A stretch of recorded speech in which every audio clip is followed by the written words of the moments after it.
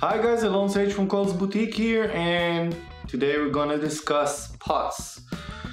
This is an alpha, this is a CTS, don't matter the size, all pots work the same. Pots are basically resistors and the resistance changes as you move this shaft over here. Now, why do pots matter? Well, they do.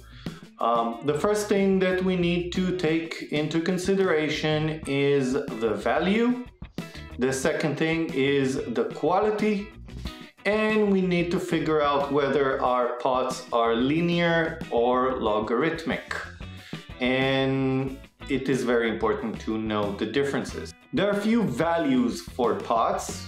Uh, the most common ones are 250K and 500K. Um, they're used for uh, different pickups.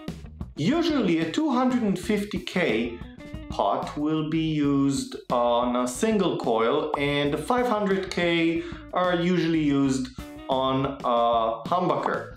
This is because the 250K uh, pots uh, tend to bleed uh, high frequencies from the signal and they're, they sound a little bit more linear when using them on a single coil. The 500K uh, produces more or actually le leaves more high frequencies on the signal so they're better for humbuckers that are usually uh, lower in their resonant frequency. There aren't many reasons for replacing pots and one of them will be what we just uh, explained for change of the tone. Another uh, issue that you might have with your pots are the uh, low quality of them. Low quality means that the value that they're supposed to have usually uh, isn't that accurate and the higher the quality and the more accurate the uh, values are.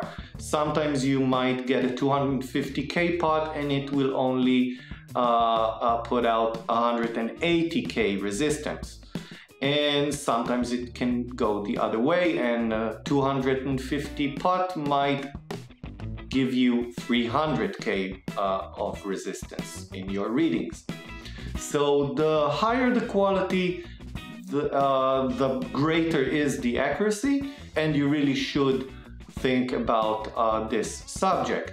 Another issue is the fact that some pots uh, malfunction and they make noise while using them.